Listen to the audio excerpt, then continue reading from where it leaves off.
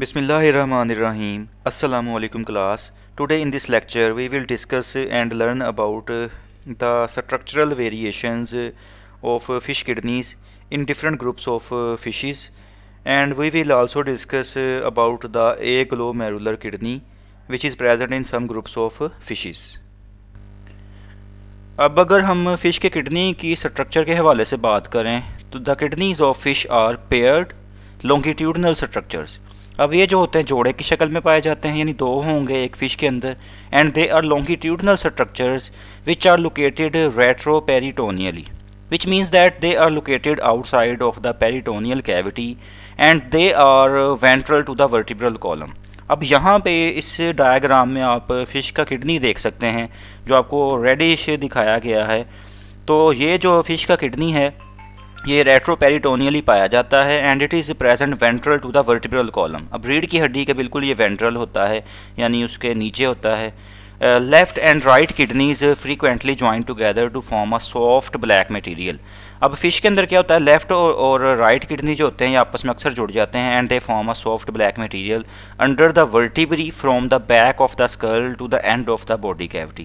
اب اسکل کی بیک سے یہ شروع ہوتا ہے تو یہ end of the body cavity تک اکثر فش کے اندر اس طرح پایا جاتا ہے and the kidneys are one of the primary organs which are involved in excretion and osmoregulation تو کڈنی کا اگر ہم میجر فنکشن دیکھیں تو یہ ایکسکریشن کرتے ہیں نائٹروجنس ویسٹ کی اور اوسمو ریگولیشن میں اپنا رول پلے کرتے ہیں which means the maintenance of water and salt balance in the body of fishes اب اگر ہم فش کے کڈنی کے کلر کے حوالے سے بات کریں تو commonly they are reddish brown and uh, یعنی یہ ریڈش براؤن کلر کے ہوتے ہیں پلپی ہوتے ہیں and bloody when broken open اگر ان کو اوپن کر کے فش کو اوپن کر کے دیکھا جائے تو اگر اس کے ہم کڈنی کو نکال کے دیکھیں تو وہ ریڈش براؤن ہوں گے اور پلپی ہوں گے کافی یعنی کہ تھک ہوں گے اور uh, ان کے اندر بلڈ موجود ہوگا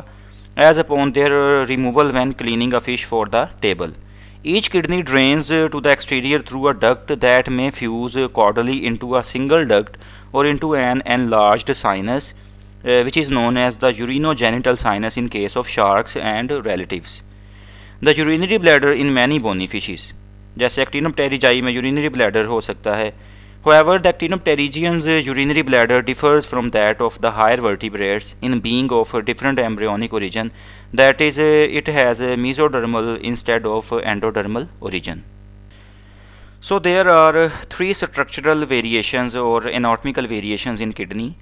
the in case of vertebrates the kidney is unique among the organs کیونکہ ورٹیبریٹس کے کیس میں کیا ہوتا ہے کہ یا دو یا تین طرح کے کڈنیز ان کی لائف uh, سٹیجز میں بنتے ہیں جیسے ہیومن بینگز کے اندر جو ہے ایمبریونک سٹیجز سے لے کے ایڈلٹ لائف تک تین طرح کے کڈنیز جو ہے بنتے ہیں ڈیورنگ ایمبریونک سٹیجز جو ہیں وہ پرو نیفروز پہلے کڈنی بنتا ہے پھر میزو نیفروز کڈنی بنتا ہے اور اس کے بعد ایڈلٹ سٹیجز میں جو ہے وہ کیا ہوتا ہے کہ میٹا نیفری کڈنی جو ہے ایملس ریٹین اس کو کرتے ہیں جسٹ لیکن ایمبریونکس میں جسٹ پرو نیفروز یا میزو نیفروز کڈنی جو ہیں وہ رکھتے ہیں تو پرو نیفروز کڈنی جو ہے میملز کے کیس میں تقریباً جو ہے وہ بائیسویں دن گیسٹیشن کے جو ہے وہ بنتا ہے اور یہ ہوتا ہے کہ پیئرڈ پرو نیفرائی جو ہیں وہ اپیئر ہوتے ہیں ٹوورز دا کرینیل لینڈ تو وہ کرینی لینڈ کی طرف جو ہے وہ بنتے ہیں اور یہ سروائیکل ریجن میں جو ہوتا ہے نا ایمبریو کے بنتا ہے pronephros kidney in case of mammals جبکہ فش کے کیس میں کیا ہے کہ they retain the first two types of kidneys they and these are pronephros and mesonephros kidney تو پرو نیفروز جو ہے وہ اینشینٹ کڈنی کی فارم ہے اس سے ایڈوانس جو ہے میزو نیفروز ہے اس سے جو موسٹ ایڈوانس ہے وہ کیا ہے میٹا نیفری کڈنی تو آپ یہاں پہ یہ پرو نیفروز کڈنی دیکھ سکتے ہیں پھر اس کے بعد نیکسٹ آپ کو یہ میزو نیفروز کڈنی دکھایا گیا اور لاسٹ پہ یہ میٹا نیفری کڈنی آپ نیچے والا اس کا ایریا دیکھ سکتے ہیں تو فش کے کیس میں کیا ہوتا ہے کہ پرو نیفروز کڈنی جو ہے نا اکثر فش ریٹین کرتی ہیں اکثر فشز جو ہیں وہ پرو نیفروز اور میزو نیفری کڈنی دونوں کو ہی ریٹین کرتی ہیں اس کیس میں کیا ہوتا ہے کہ پہلے پرو نیفروز کڈنی ان کے اندر بند ہوتا ہے اور ایڈلٹ سٹیجز میں ان کے اندر پھر بعد میں جا کے میزو نیفری کڈنی جو ہے وہ ہمیشہ کے لیے رہتا ہے تو اس طرح یہ ویریشن ہے فشیز کے اندر کہ کچھ میں پرو نیفروز کڈنی ریٹین رہتا ہے تھرو آؤٹ لائف اور کچھ کے اندر جو ہے وہ میزو نیفری کڈنی جو ہے وہ پھر ریٹین رہتا ہے throughout their life So we can say that there are three kinds of kidney which are present in vertebrates and these are pronephrose, mesonephrose and metanephrose kidneys. The pronephrose is present in larval fishes while the mesonephrose is functional kidney in actinopterygii which are also known as ray-finned fishes and they constitute a class or subclass of the bony fishes. The ray-finned fishes are also are so called because their fins are webs of skin which is supported by bony or horny spines, as opposed to fleshy lobed fins that characterize the class Sarcopterygii. So uh, the mesometanephros uh, is the kidney which is present in tetrapods.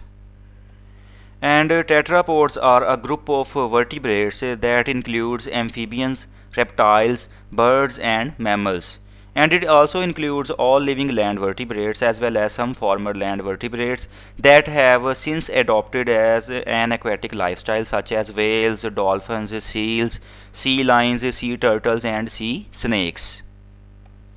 So kidney tubules are involved with moving sperm in some fishes uh, uh, so the two systems are sometimes uh, discussed as the urinogenital system in case of uh, this, uh, these fishes. now we will discuss about the first type of kidney which is present in fishes which is known as pronephros the pronephros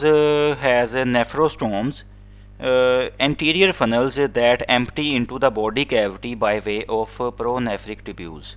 تو اس کے اندر اب nephrostomes پائی جاتی ہیں کچھ ایسی انٹیریئر فنلز ہوتی ہیں جو پرو نیفرک ٹیبیوز کی مدد سے جو ہے باڈی کیوٹی میں جو ہیں اوپن ہوتی ہیں in case of adult hagfishes they have anterior pronephros and a posterior mesonephros یعنی ان کا کڈنی جو ہے وہ کس طرح کا ہوگا کہ اس کا انٹیریئر پورنشن جو ہے پرونیفروز والا ہوگا اور پوسٹیریئر پورشن جو ہے وہ میزونیفروز ہوگا but it appears to be the mesonephros that is the functional kidney لیکن بعد میں پتہ چلا ہے کہ مے بی یہ میزونیفری کڈنی ہے جو کہ فنکشنل کڈنی ہوتا ہے in case of hagfishes which are the primitive group of fishes in case of lampreys they have a pronephros until they reach about twelve to fifteen millimetre when they develop a mesonephric kidney during metamorphosis تو lampreys کے case میں بھی پہلے pronephros kidney ہوتا ہے اور بعد میں جو ہے وہ میزونیفرک کڈنی بن جاتا ہے pronephros is a transitional kidney that appears during ontogenetic development of ایکٹینوپ larvae and then is replaced by mesonephros as the fish grows تو اب پرونیفروز کڈنی ایک ٹرانزیشنل کڈنی ہے جو کہ شروع شروع میں تو بنتا ہے لارول سٹیجز تک اس کے بعد جب ایڈلٹ فارم ہوتی تو فش کے اندر موسٹلی جو ہے یہ میزو نیفروز کڈنی میں کنورٹ ہو جاتا ہے Now we will talk about the mesonephric kidney and it is a more complex kidney that does not have funnels emptying into the body cavity. اب اس کا اور پرو نیفروز کڈنی کا basic difference یہ ہے کہ اس کے اندر فنلز نہیں پائی جاتی جو کہ باڈی کیوٹی میں اوپن ہوتی ہیں جبکہ جو پرو نیفروز کڈنی تھا اس کے اندر فنلز پائی جاتی تھیں جو باڈی کیوٹی میں ڈائریکٹ اوپن ہو رہی تھیں the mesonephros consist of a number of renal corpuscles اب اس میں بے شمار رینل کارپسلز پائے جاتے ہیں اور رینل کارپسل کے اندر بھی دو چیزیں ہوتی ہیں A H composed of a glomerulus which is surrounded by a Bowman's capsule اب گلو میرولس کیا ہوتا ہے it is a ball of capillaries اور وومینز کیپسول کیا ہے it is a cup shaped swelling اب گلو میرولس کیا ہوتا ہے جو بال آف کیپلریز ہیں وہ وومینس کیپسول کے اندر پڑی ہوتی ہیں اور یہاں پہ کیا ہوتی ہے وومین کیپسول کے اندر فلٹریشن ہوتی ہے بلڈ کی دا گلو میرولس سیکس as an ultra filter to remove water salts sugar and nitrogenous waste from the blood تو گلو میرولس کا یہ فنکشن ہے کہ یہ فلٹر کا کام کر رہا ہوتا ہے جس میں واٹر کو سالس کو شوگرز کو اور نائٹروجنس ویسٹ کو بلڈ سے جو ہے فلٹر کیا جاتا ہے the filtrate is collected in Bowman's capsule and then passes a mesonephric tubule where water sugar and other solutes are selectively reabsorbed تو اب ڈیپینڈنگ اپون دا اسپیشیز یا ڈیپینڈنگ اپون دا سچویشن جو ہے اس میں سے پھر water sugar یا solutes کو اگین ری ایبزارب کر لیا جائے گا جب وومین کیپسول سے فلٹر جو ہے میزو نیفرک ٹیبیول میں جا رہا ہوگا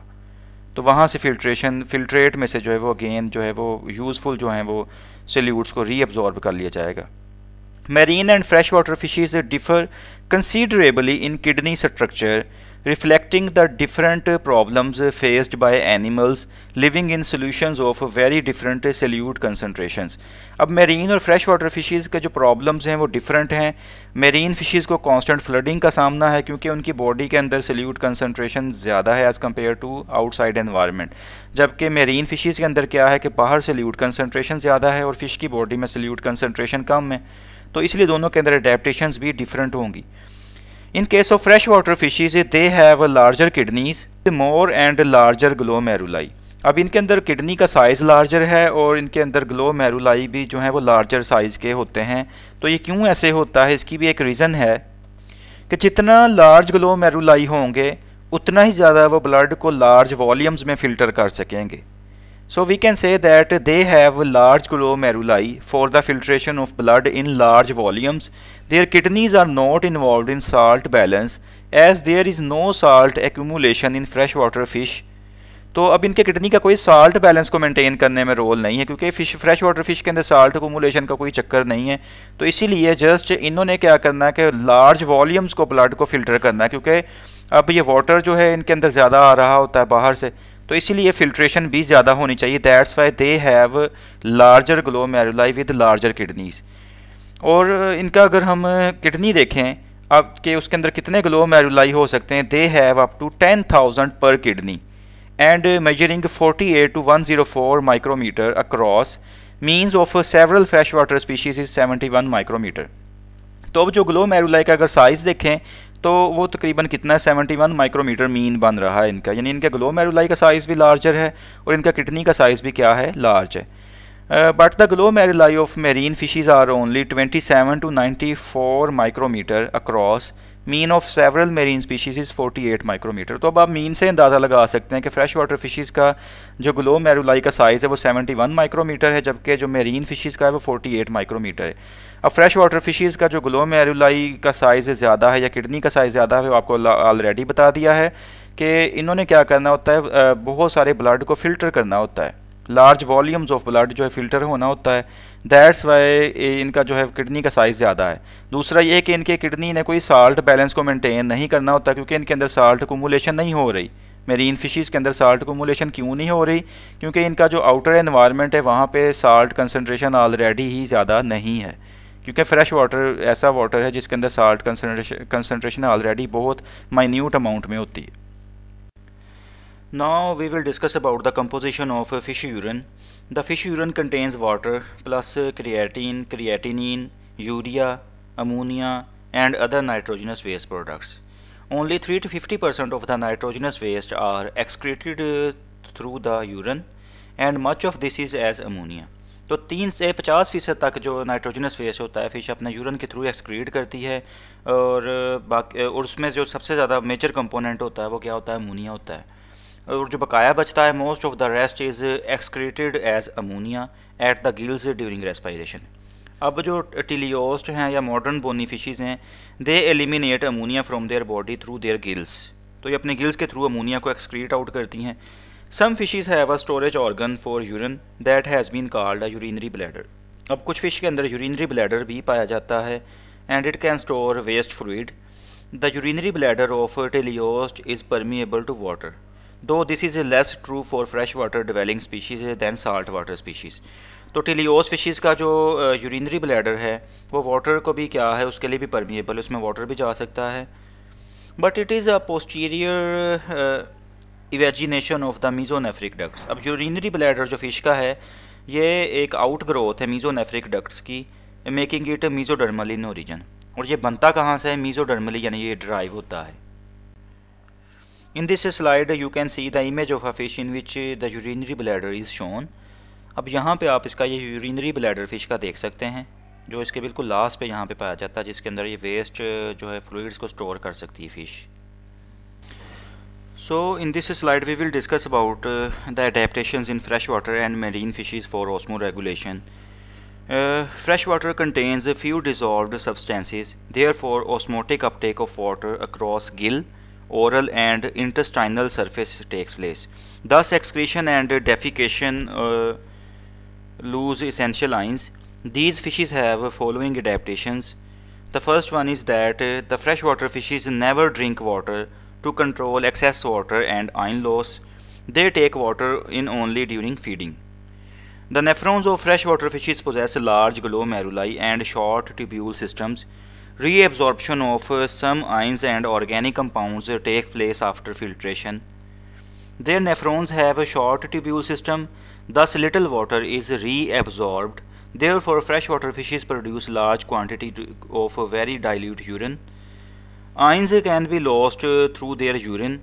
Uh, these are also lost by diffusion across gill and oral surfaces.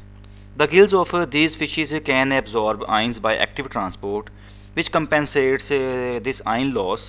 Fresh water fishes also get some salts through their food تو اب یہ فریش واٹر فشیز کی کچھ آپ کو اڈیپٹیشنز بتائی ہیں کہ یہ تو ایک ان کا آئن لاس اگر ہو جائے تو یہ ایکٹیو آپ ٹیک کرتی ہیں آئنس کا through their gills and there drink little water only during feeding اس کے علاوہ علاوہ یہ دیکھیں تو یہ they absorb water through skin یہ اسکن کے تھرو بھی واٹر کو ایبزارب چونکہ کر رہی ہوتی ہیں یا جیسے کہ آپ یہاں پہ آپ کو بتایا گیا کہ fresh water fishes produce copious amounts of highly dilute urine یعنی بہت زیادہ جو ہے وہ یورن ڈائیلیوٹ یورن پیدا کرتی ہیں to avoid water logging by the large amount of water diffusing in through all semi permeable membranes کیونکہ ان کے اندر واٹر بہت زیادہ ڈیفیوز ہو رہا ہوتا اندر کی طرف ان کی باڈی کی طرف through their semi permeable membranes but in case of marine fishes there drink sea water to correct dehydration تو یہ سی واٹر کو ڈرنک کر رہی ہوتی ہیں تاکہ ڈی ہائیڈریشن uh, نہ انہیں ہو and excrete a low volume of highly concentrated urine تو یہ جو ہے وہ لو والیوم جو ہے وہ جنریٹ کرتی ہیں بہت زیادہ کنسنٹریٹڈ یورین کا most nitrogenous waste are excreted extra رینلی through the gills Because uh, marine fishes uh, face the opposite problems, uh, their environment contains 3.5% ions, but their tissue contains only 0.65% ions. Therefore, marine fishes face the problem of water loss and accumulation of excess ions. They drink water to compensate the loss of water. They eliminate excess ions by excretion, defecation, and active transport through their gills. The nephrons of marine fishes possess small glomeruli and long tubule systems. Therefore, less blood is filtered than freshwater fishes. Water is efficiently reabsorbed from the nephron. Now, in this uh, last slide, we will discuss about the aglomerular fishes uh, or the fishes uh, which lack glomeruli in their kidneys. At least 30 species of aglomerular teleost are known from seven different families of mostly marine fishes